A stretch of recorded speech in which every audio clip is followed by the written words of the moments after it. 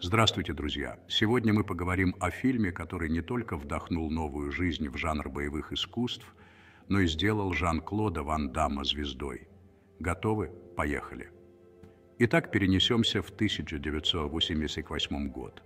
Кровавый спорт выходит на большие экраны, но его история начинается с довольно необычных рассказов.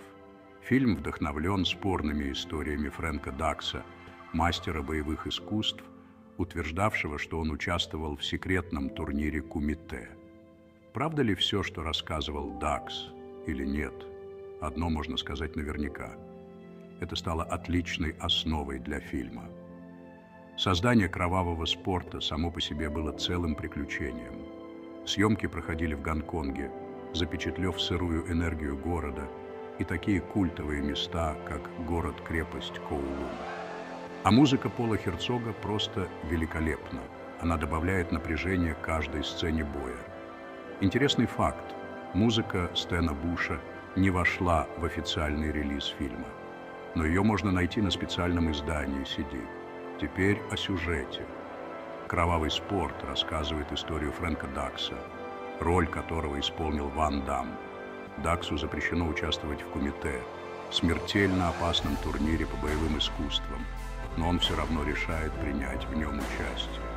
Тренируясь у мудрого Сензо Танаки, Дакс оттачивает свои навыки и проходит испытания. Он сталкивается с опасными противниками, включая безжалостного чемпиона Чонгли. Схватки между ними стали одними из самых зрелищных в истории боевых искусств на экране.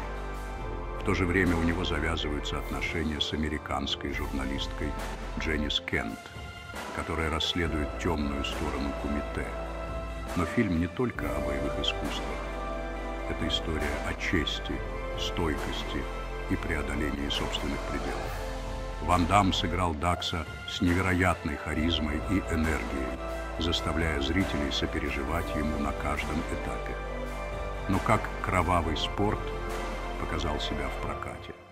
Снятый с небольшим бюджетом, фильм собрал более 50 миллионов долларов по всему миру. Это был огромный успех, который закрепил место фильма в истории боевых искусств в кино и возродил интерес к этому жанру в Америке.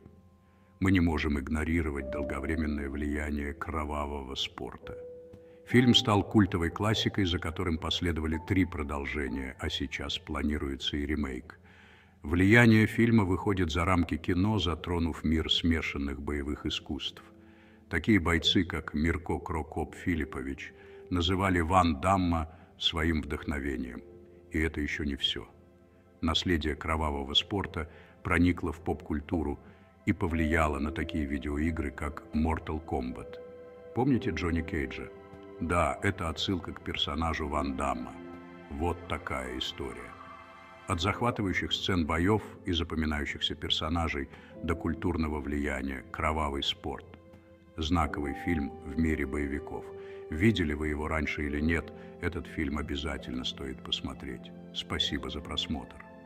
Не забудьте поставить лайк, подписаться и нажать на колокольчик, чтобы не пропустить новые видео о ваших любимых боевиках. Увидимся в следующий раз.